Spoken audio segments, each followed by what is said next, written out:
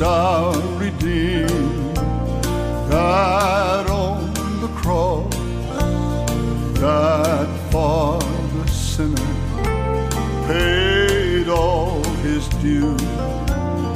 All who receive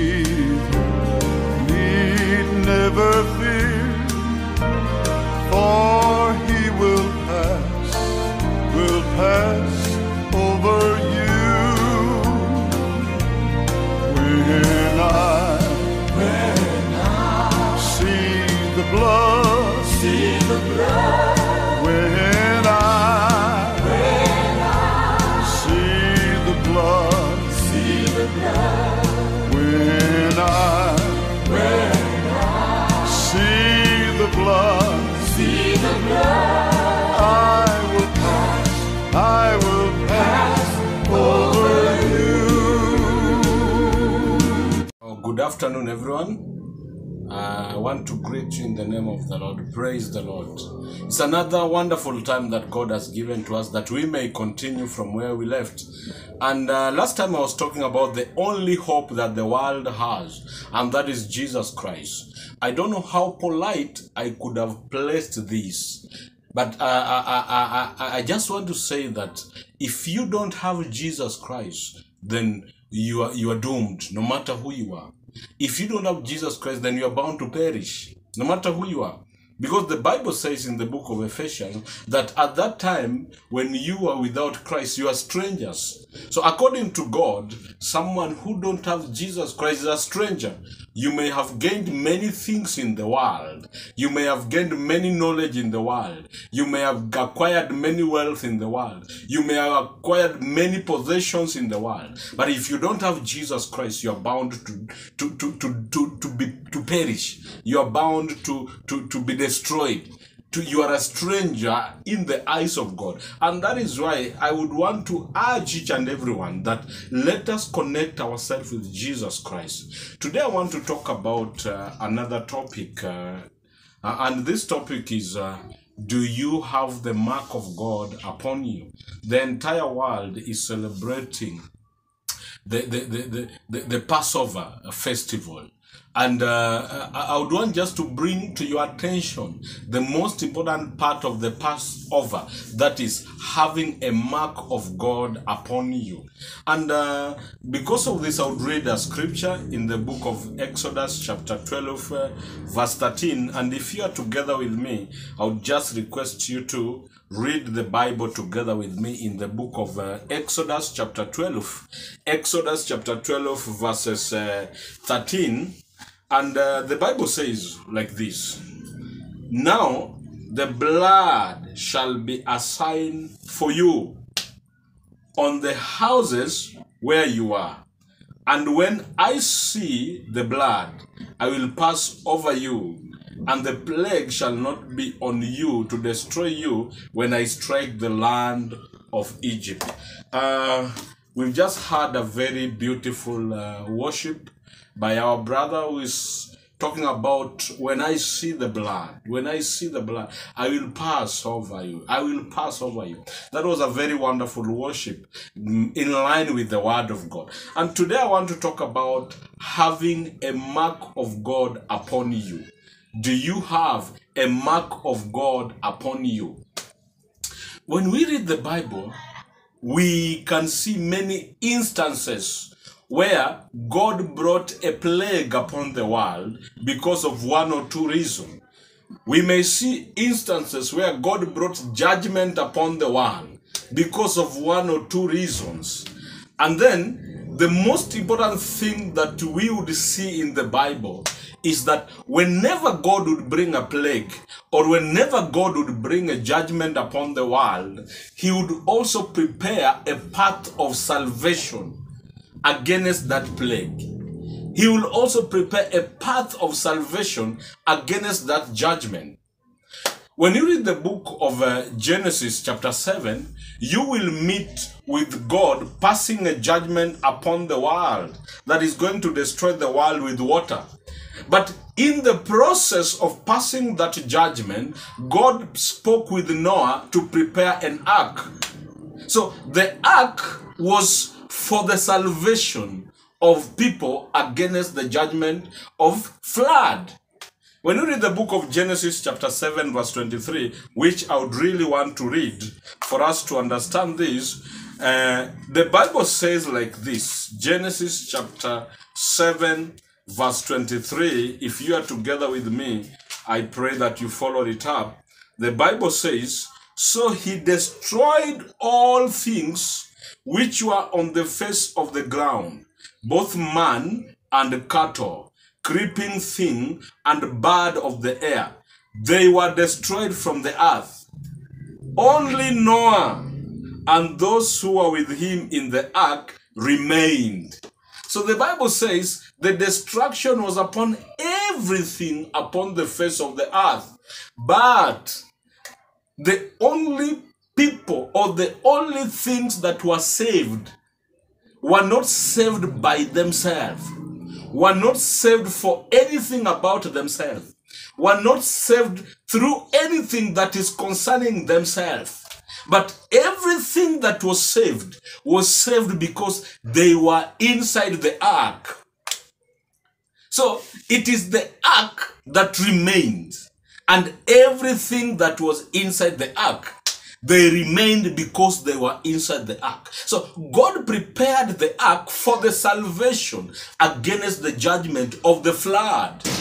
So when you look at the Bible, at every given time, God would bring a judgment, God would bring a plague, and at the same time, God would prepare a path of salvation, and you would give a, that path of salvation to man. So when you look at this scenario, Noah is saved, the family of Noah is saved, all the animals that are in the ark are saved, not because of anything about themselves. But because the ark was able to, to, to, to, to prevent them from destruction. All other things were destroyed. I would talk about many other instances in the Bible. We have a lot of instances in the Bible, but because of time, I would go direct to the point, that, to our topic of today. In our topic of today, we are seeing a second instance where God is passing judgment upon the land of Egypt and God brought many different plagues to compel Pharaoh to release his people. But all these plagues, still Pharaoh's heart were hardened. And the Bible says it was God that had hardened the heart of Pharaoh. Because God wanted to reveal himself. God wanted to show his power against Pharaoh. So the last and most dangerous plague was just about to come to the land of Egypt. And that is the plague of the angel of slaughter passing through the land of Egypt, killing every firstborn in the land of Egypt. So this angel was to pass through the land of Egypt and killing every firstborn. In the land of Egypt, every firstborn were to die. It doesn't matter whether they're the firstborns of Egyptians. It doesn't matter whether they're the firstborns of the Jews, of the Hebrews. It doesn't matter whether they are the firstborn of which kind. But according the judgment of God, the firstborns were to die. But in that scenario, God prepared a path of salvation. And he told Moses that Moses, go and tell my people, the angel will not be able to distinguish who is a Jew and who is an Egyptian. But this, this, this is the path that I am giving you for your salvation. Go and slaughter a lamb.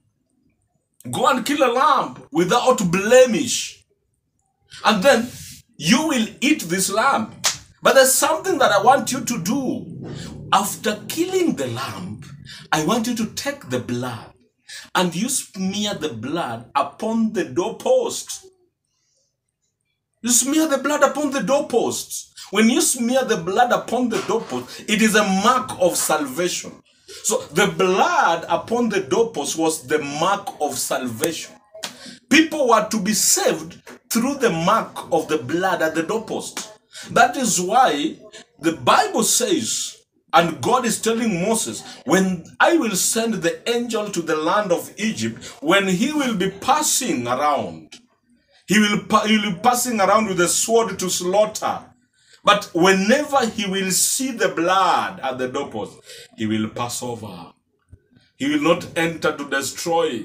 He will not enter to kill the firstborn, but he will pass over. It doesn't matter who was inside the house. The house that is already marked with the blood at the doorpost. It doesn't matter whether the child of the of the Egyptian is inside that house. It doesn't matter even if the son of Pharaoh himself was in one of the houses that was marked by the blood at the doorpost. That son could not have died because God had provided a path of salvation, and that path of salvation was the blood at the doorpost. God had given a promise. I will pass over whenever I see the blood. I will not enter to destroy. That was the mark of salvation that God had given. You know, when Joshua was going to destroy the land of Jericho, there was a prostitute that had helped the spies. And then there was a promise that the spies had given to this woman. We will be moving around, killing people and destroying people around. But you will have to tie at the window. You have to tie a mark at the window. There was a mark that this woman was to tie at the window. We will use that mark to identify that you and all your people are inside that house. There is always a mark of salvation upon the life of man whenever God gives a judgment. God will not just destroy, but when He plans a destruction, God will always provide a path of salvation. It is only men who will dest- who will reject. So God is saying, "Go and prepare a lamb that is blemish, that is blameless. You shall slaughter it and you shall eat it." But the most important thing, you will take the blood and you will smear the blood upon the doorpost. And that blood will be for a mark of salvation. I will see that mark and I will not enter to destroy. I will see that mark and I will pass over. I will pass over because already in that house judgment has been made. Already in that house, the lamb has taken the judgment. Already in that house, the lamb has already died. Has already died on behalf of the firstborns. Already in that house, there's no firstborn that will ever die because the lamb had already died. The lamb had already died. Today, I want to tell you, my brother and my sister, there is a mark of salvation. All this that we are talking about in the Old Testament, they were just but a shadow. All this, the, the, the, the, ark of Noah was a shadow of Jesus Christ. The lamb that was slaughtered during the time of the of, of, of the destruction of the firstborn in the land of Egypt. It was a shadow. It was a shadow of Jesus Christ. Today, God has given a true mark of salvation, and that true mark of salvation is Jesus Christ. It doesn't matter what plague will fall upon the land. It doesn't matter what plague will fall upon the, the land. It doesn't matter what plague will fall upon the world. Be it the plague of coronavirus, be it the plague of whatever you can call it, be it the judgment of whatever can come. But God has given a judgment Uh, God has given a mark of salvation. God has given a path of salvation, and that path of salvation is Jesus Christ. God wants all of us to, to have Jesus Christ. The Bible says that the Father judges no one, and He has committed the judgment upon Jesus Christ. Anyone who rejects Jesus Christ, Ah, the reason why God brought Jesus Christ, I want to read a scripture in the book of John, chapter 3, verse 17. And a verse that always blesses my heart so much. The Bible says, For God did not send his Son into the world to condemn the world, but that the world through him might be saved. The reason of Jesus coming into this world is for the salvation of the world. salvation against everything that will fall upon the world. It is salvation upon your sin. You who is still stuck in your sin. You is still a slave of sin. Jesus has come for the salvation of your sin. It is for the salvation of every plague that will fall upon the land. It is for the salvation of every judgment that will fall upon the land. Jesus is for the salvation of every situation that will fall upon the land.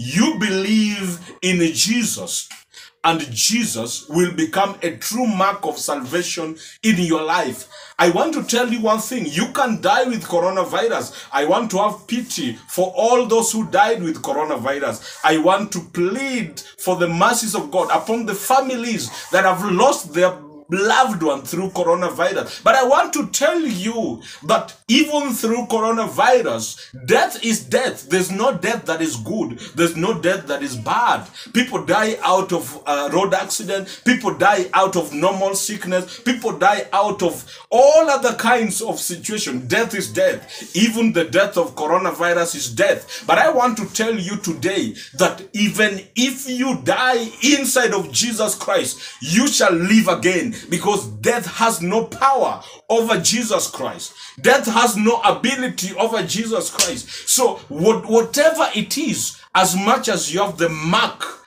of God upon you, and that mark is Jesus Christ. As much as you have the mark of God upon you, and that mark is the work that Jesus accomplished at the cross of Calvary. As much as you have the mark of Jesus Christ upon you, you will not be subjected to any destruction. This body can die, but you will live again. The body can die because it must die and go back to where it came from because it is a dust. But if you have Jesus Christ, you will live and you will live forever. I want to finish this sermon. Read with me one scripture. John chapter 11, verse 25 and 26. Jesus said to her, I am the resurrection and the life. He who believes in me, though he may die, he shall live. And whoever lives and believes in me shall never die. Do you believe in this? Jesus is saying a very, very complicated statement to the world. The statement of Jesus is such a complicated statement, but he is asking, Will you believe? Because he's saying, I am the resurrection and the life. He who believes in me, I am the resurrection, I am the life. He who believes in me, though he were dead, though he may die, he will live. And then he's saying, and those who believe in me and they live, they shall never die. Because death can never have dominion over Jesus Christ. So those who have Jesus Christ will never die. This body can go back to where it came from. When you read the book of Thessalonians, the Bible says there are, we have two different categories of the people who die. Are people who die in Christ. The Bible says, and those who die in Christ shall rise. We talk about people who die in Christ are the people who, their body can die, but their soul is alive with Christ. But we have those whose bodies are alive, but their soul is dead, even though they are living. So we have walking dead. Many people are walking, but they are dead because their soul is dead before God. Anyone who doesn't have Jesus Christ is a dead soul. Anyone who doesn't believe in Jesus is a dead soul. It doesn't matter who you are. Do you have a mark of God upon you? And that mark of God is Jesus Christ. Do you have Jesus Christ upon you? Do you believe in Jesus Christ? I want to request you. I want to plead with you as an ambassador of Christ, as though Christ Himself were beseeching you as though it's Christ Himself was pleading with you. I beseech you on Christ's behalf. Believe in Jesus. Be reconciled with God by believing in Jesus. May God bless you for this wonderful time. Until next time, we are going to have another session. For all this time that you have, believe in Jesus, Trust in Jesus. Take care of all of yourself. Co- Take uh, precautions, the containment measures of COVID 19. Be very vigilant with yourself, but believe in Jesus. May God bless you all. Until next time. When I see the blood,